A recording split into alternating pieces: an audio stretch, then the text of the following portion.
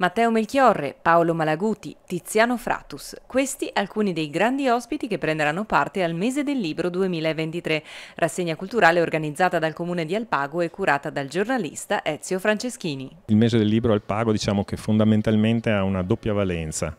Da un lato è quella di far eh, conoscere a noi insomma, i bellunesi, gli scrittori, le loro opere e anche portare argomenti di attualità eh, nel territorio e dall'altro però è anche quello di far conoscere a questi autori, a queste persone che vengono da fuori, la bellezza del nostro territorio e tutto quello che il territorio contiene.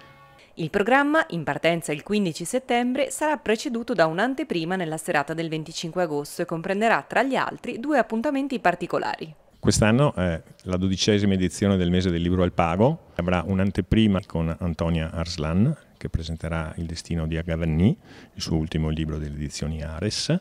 e poi inizieremo il 15 settembre con gli scrittori e tra gli appuntamenti abbiamo anche altri due incontri mm, molto importanti. Uno riguarda eh, il ricordo di Eugenio Padovan, l'archeologo scomparso da poco tempo, insomma, che ha, con l'Alpago aveva un rapporto molto particolare. E un altro appuntamento importante eh, riguarda eh, Francesca Mannocchi, che è inviata da, eh, di La Sette sul teatro di guerra dell'Ucraina e diciamo che questo appuntamento richiama quello dell'altro anno a cui abbiamo invitato Tony Capuozzo.